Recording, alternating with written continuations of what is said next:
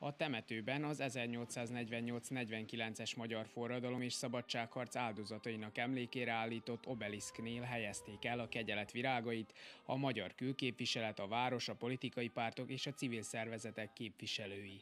A megemlékezésen Pataki Tibor történész a községi képviselőtestület alelnöke idézte fel az akkori eseményeket. Ma már tudjuk, hogy az 1848-as, 49-es forradalom és szabadságharc Magyarország újkori történelmének egyik legmeghatározóbb eseménysorozata, nemzeti identitásunk egyik meghatározó alapköve, a magyar polgári átalakulás alapja, és nem csak a nemzeti mitológiánk kihagyhatatlan fejezete, hanem az európai és egyetemes történelm szerves része is egyben.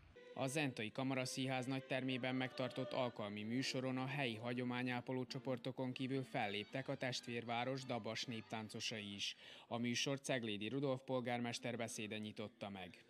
Ne egymásnak legyünk az ellenségei, hiszen olyan időket élünk, amikor egyre fogyatkozunk. Tanulnunk kell az őseinktől elszántságot, elhivatottságot, és okolnunk kell a múlt buktatóiból is.